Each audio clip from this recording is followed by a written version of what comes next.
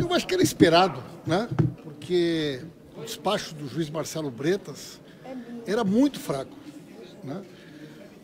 Quando você politiza a justiça, quando você passa a julgar eh, não baseado na Constituição e na lei, mas sim a partir de preferências de natureza pessoal, partidária ou ideológica, a justiça erra muito.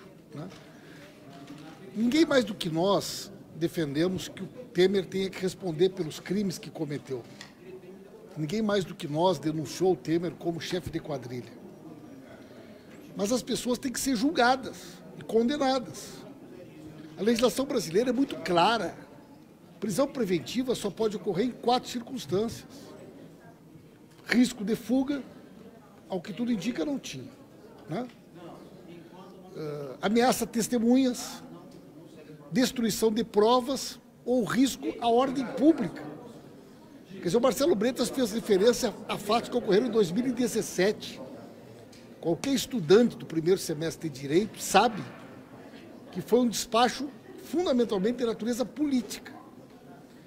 E fica tão evidente a seletividade da justiça porque você tem um cara como o Queiroz, desde o dia 15 de dezembro, denunciado, e até hoje nunca foi ouvido. Quer dizer, a justiça nunca ouviu, a polícia nunca ouviu o Queiroz, os familiares do Queiroz. Cadê a quebra do sigilo bancário da conta do Queiroz? Cadê as relações do Queiroz com a família do Bolsonaro, com a dona Michele? Cadê a movimentação financeira do Flávio Bolsonaro? Isso que é relevante nesse momento, porque essa família hoje governa o Brasil. Quer dizer, a esposa e a mãe de um dos principais assassinos milicianos do Rio de Janeiro estavam nomeados no gabinete do Flávio Bolsonaro até dezembro. E a justiça não fez nada sobre isso. A filha do Queiroz estava nomeada no gabinete do próprio Jair Bolsonaro. Não prendeu o Temer com 78 anos, depois que não é mais presidente. Aí qualquer um faz. Eu quero ver ter coragem de enfrentar quem está no poder. Por que, que eles deixaram o Temer ficar tanto tempo? Só agora que descobriram que o Temer era o Temer? Essa sentença, esse despacho do Marcelo Bretas é para inglês ver. Qualquer pessoa sabia que não duraria muitos dias e ele cumpriu um papel, que era tentar tirar o foco do país do escândalo dos 2,5 bilhões que os procuradores da Lava Jato estavam tentando se apropriar. É, continua a confusão do Planalto com a presidência da Câmara para fazer começar a tramitar a reforma da Previdência aqui na casa.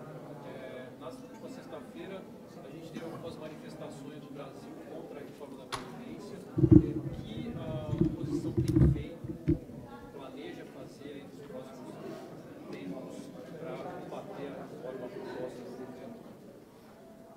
Eu acho que é, esse cenário que nós estamos assistindo é fruto de um passado que vai estar presente cotidianamente na gestão do Bolsonaro.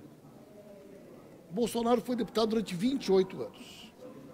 Votou sempre contra a reforma da Previdência.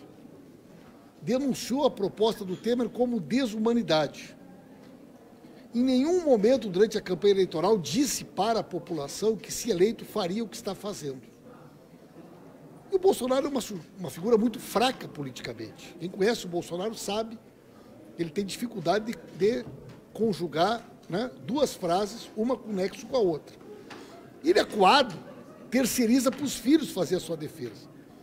E aí joga o país para esse caldeirão. Prometeu para o Paulo Guedes, prometeu para o mercado, que, se eleito, teria condições de mobilizar a base que, que ele elegeu, através do Twitter e das redes sociais, e essa base começou a perder poder antes da posse, no primeiro escândalo do Queiroz. Queiroz, Flávio Bolsonaro, Laranjas. Então, o Bolsonaro hoje é uma figura que tem o pior desempenho de um presidente do primeiro mandato nos primeiros 30 dias.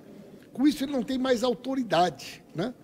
Além disso, destacou para fazer a interlocução política com o parlamento pessoas que não têm nenhuma capacidade, nenhuma condição de fazer isso. Né? Política significa diálogo, significa composição. Isso é tudo que esse governo não tem. Então, o governo, o governo é, é, ele mesmo retroalimenta a crise, né? O líder do governo ontem saiu de uma reunião com o presidente da República, atacando o presidente da Câmara. Quando não é o líder do governo, é o filho do presidente. Quando não é o filho do presidente, é o secretário do Tesouro. Ontem, atacando os parlamentares de uma forma geral. Eles estão me criando, inclusive, uma dificuldade, né? Porque eu, como líder da maior bancada, tem dias que eu não preciso nem falar, porque eles dizem tantas neiras e tantas bobagens a respeito do governo que eles fazem parte, que a minha condição é ficar assistindo, de camarote, um governo que está se desintegrando sozinho.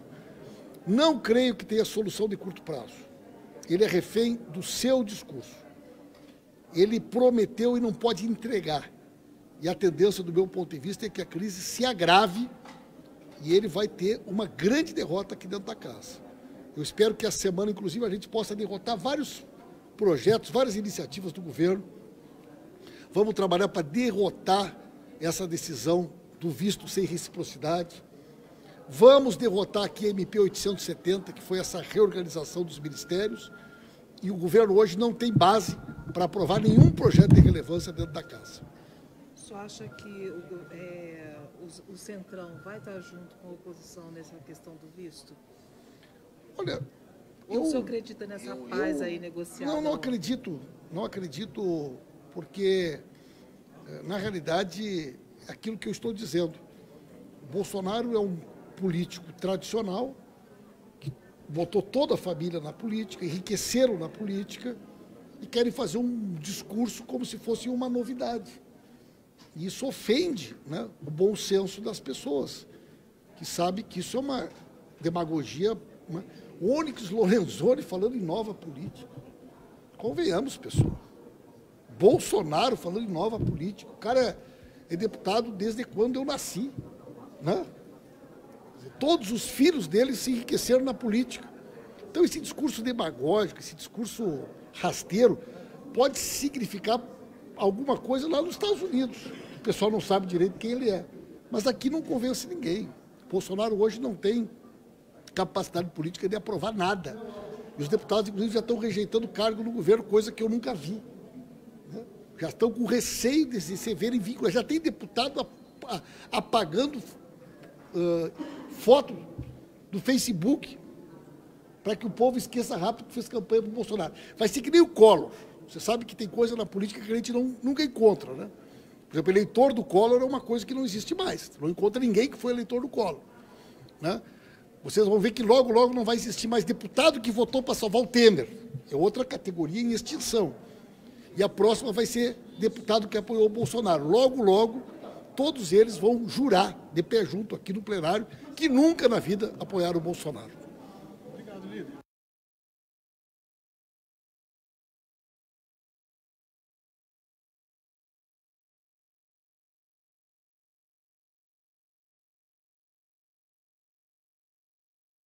This is an ad for a project management tool called Monday.com. This is what it looks like, and this is what it feels like.